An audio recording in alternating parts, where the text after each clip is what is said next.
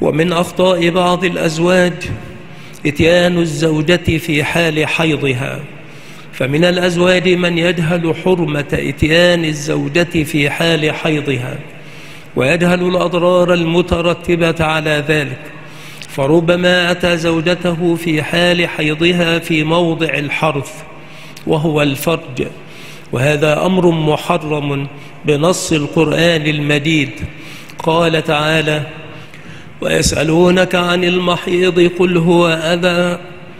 فاعتزلوا النساء في المحيض ولا تقربوهن حتى يطهرن.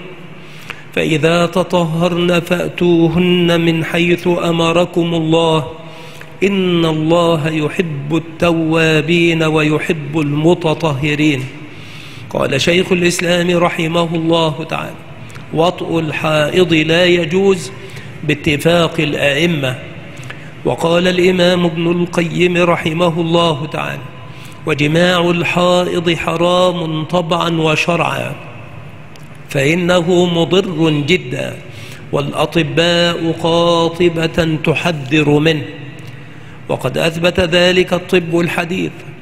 فقالوا إن الوقاع في زمن الحيض يحدث كثيرا من الأضرار منها. آلام أعضاء التناسل في الأنثى وربما أحدث التهابات في الرحم وفي المبيضين وفي الحوض تضر صحتها ضررا بليغا وربما أدى ذلك إلى تلف المبيضين أو أحدث العقم. ومنها أن دخول مواد الحيض في عضو التناسل عند الرجل قد تحدث التهابا صديديا يشبه السالان. وربما امتد ذلك إلى الخصيتين فآذاهما ونشأ عن ذلك عقم الرجل. وعلى الجملة فقربانها في هذه المدة قد يحدث العقم في الذكر أو في الأنثى ويؤدي إلى التهاب أعضاء التناسل فتضعف صحتها وكفى بهذا ضررا.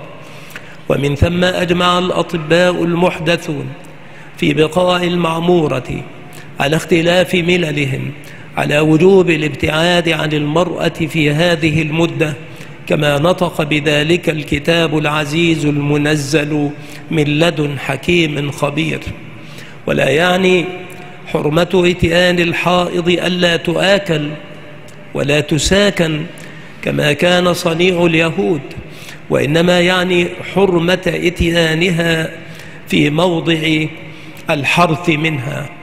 أما ما عدا ذلك فيحل كمباشرتها فيما دون الفرج وكمضاجعتها ومؤاكلتها.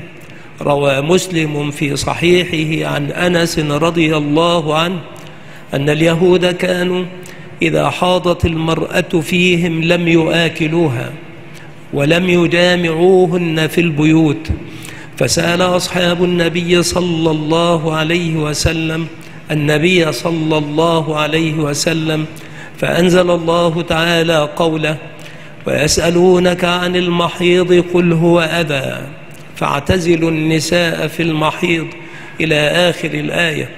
فقال رسول الله صلى الله عليه وآله وسلم اصنعوا كل شيء إلا النكاح. رواه مسلم.